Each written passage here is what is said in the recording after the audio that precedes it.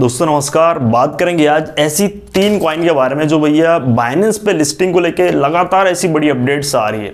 देखो, ये जो कॉइन है, इन फ्यूचर का भी एक बड़ा प्लान है इन तीनों का। बेसिक से आप समझो, काफ़ी अच्छी नॉलेज मिलने वाली वीडियो में। और आपका जो बजट है, वो सच में आप इन्वेस्टमेंट करना चाहते हो तो देखो लिस्टिंग के पहले अगर आपको कॉइन मिलती है तो भैया यकीनन अच्छा प्रॉफिट होगा। और दूसरी चीज़, अगर लिस्टिंग हो जाती है देखो, तीनों में कौन पहली होती है, कौन बाद में, और कब तक होती है, ये सारी चीज़ें आपको पता लग जाएगी।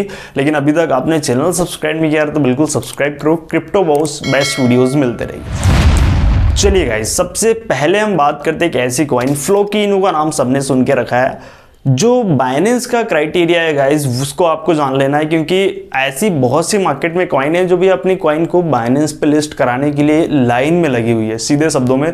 लेकिन बाइनेंस का भी कुछ ऐसे टर्म एंड कंडीशन होते हैं, जैसे कहीं ना कहीं बाइनेंस उसका मार्केट कैप चेक करता है, उसके बाद उसकी ट्रेडिंग वॉल्यूम देखता है कि भैया उसमें कॉइन में बाइंग सेलिंग हो रही भी या नहीं हो रही है।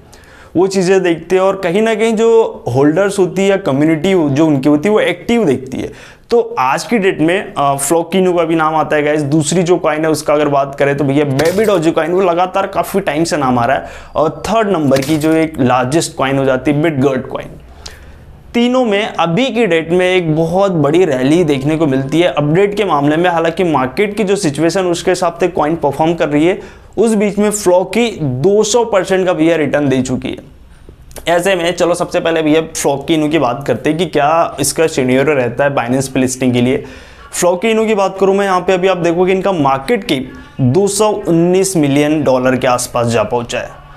वहीं पे इसकी जो ट्रेडिंग वॉल्यूम है 36 मिलियन भैया, बहुत बड़ी वॉल्यूम है ट्रेडिंग वॉल्यूम और ये इसीलिए हुई है कि डेढ़ से 200 परसेंट का अगर कोई कॉइन प्रॉफिट देता है तो उसमें बाइंग सेलिंग कितनी ज़्यादा होती है वो आप समझ सकते हो ये चीज़ तो हो जाती है गाइस फ्लो की इनू की।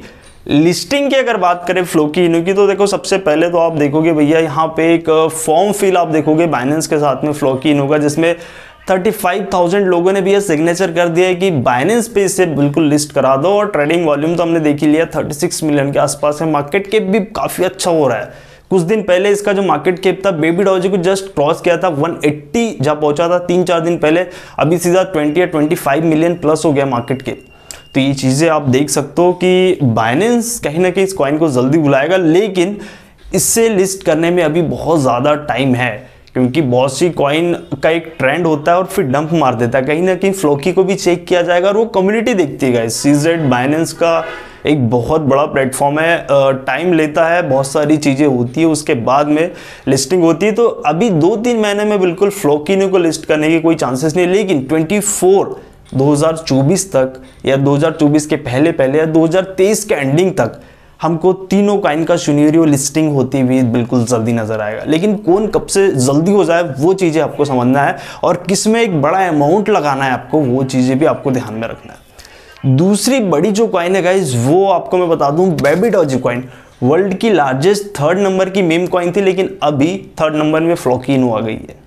तो ये तो भैया थर्ड नंबर की फ्लोकीनू अब बन चुकी है। लेकिन बेबीडोजी की मैं बात करूँ तो बेबीडोजी एकमात्र अपनी कॉर्डिलियन जो टोटल सप्लाई है, उसमें पीछे रहता है गाइज़ क्योंकि बर्न का जो मैकेनिज्म है, वो थोड़ा स्लो है, लेकिन अभी बेबीडोजी स्वैप लाइव हो चुका है तो कहीं ना कहीं बर्निंग का जो टाइम है भैया, वो ज़्यादा होने वाला है। बर्न एक तरीके से काफ़ी ज़्यादा होगी।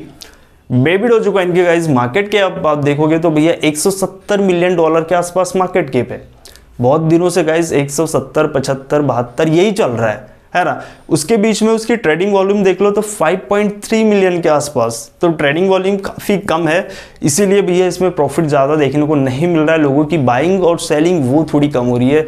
अगर बात करें अपन फ्लोकीनू के कंपेरिजन तो फ्लोकी मैक्सिमम ऐसे एक्सचेंज पर लिस्ट नहीं है जितना कि बेबी डोजी कॉइन लिस्टेड है। तो फ्लोकिनो का चांस थोड़ा जल्दी बनता है। ये चीज़ तो थोड़ा कंफर्म ध्यान में रखना है। और ये जो बेबी डॉजी कॉइन का जो नाम है भैया बाइनेंस की लिस्टिंग को लेके आज से डेढ़ साल हो चुके हैं एक से डेढ़ साल करीब करीब जो लिस्टिंग की बात कर रहे हैं लेकिन अभी तक लिस्टिंग का कोई भी भैया बड़ा ऐसा अपडेट आया नहीं है। आ, देखते गए क्योंकि बेबी डॉजी के पीछे एक बड़ी पहुँच का नाम होता है। कभी ना कभी डॉज कॉइन पे अपडेट आती तो कभी ना कभी बेबी डॉज कॉइन पे आती लिस्टिंग का अभी कोई सिनोरी बिल्कुल नज़र नहीं आता। इससे बहुत ज़्यादा टाइम लगेगा क्योंकि जब तक एक बर्निंग का मैकेनिज्म लाएगा नहीं बड़ा सा, तब तक बेबी डॉजी कॉइन का कुछ नहीं हो सकता। जैसे फ्लॉकी इन्होंने four point nine seven trillion भैया अपना टोटल जो सर्कुलेटिंग सप्लाई है, उसका सिक्सटी परसेंट मतलब four point nine seven trillion burn कर रहा है। Total eight point nine trillion उसमें से। तो ये चीज़ें आपको देखना पड़ेगा कि कहीं ना कहीं अपनी कम्युनिटी के लिए कितना कॉइन बर्न कर रहे हैं। वो चीज़ बाइनेंस भी देखता है, वो चीज़ समझता है कि वॉल्यूम इसमें आगे टाइम में ज़्यादा होगी, तभी हम लिस्ट करेंगे। दूसरी जो काइन बेबी डॉजी वो आपने समझ लिया कि भैया इसका जो बर्निंग का टाइम है, वो ज़्यादा करेंगे, तभी कहीं ना कहीं यहाँ पे बाइनेंस पे लिस्ट होता देखोगे आप। तीसरे नंबर की गाइस सबकी फेवरेट जो कॉइन है Bitgert B rice coin इसे अगर लिस्टिंग की हम बात करें तो भैया ये कहीं ना कहीं अपने आप में एक जो मार्केट केप है उसका, आप देखोगे 140 मिलियन मार्केट केप हो जाता है, वहीं पे 2.3 मिलियन डॉलर की भैया यहाँ पे कहीं ना कहीं ट्रेडिंग वॉल्यूम दिखती है। बाइंग सेलिंग बहुत कम मात्रा में जिस तरीके से हम इसकी पार्टनरशिप इसका जो अनाउंसमेंट होता है, जो नए नए कोलेब्रेशन करता है, वो चीज़ें हमको एक थोड़ा कंफ्यूज करती। है बिटगर्ट क्वाइन के साथ अभी भी देखोगे बिटगर्ट का तो तीन चार परसेंट मार्केट डाउन में है है ना?